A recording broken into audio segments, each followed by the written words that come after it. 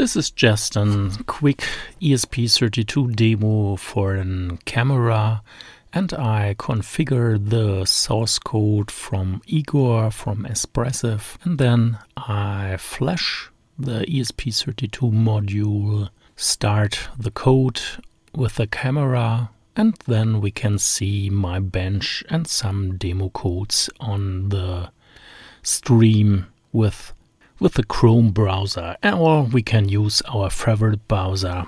And as you see, here are my camera modules and only one is working. And just for a color demo, this is some wires and a breadboard.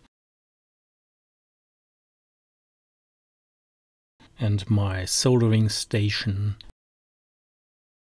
and here's also my semifocal trinocular microscope that I bought some time ago from AliExpress. So thanks for clicking my short video. I hope you find this useful. See you next time and bye bye.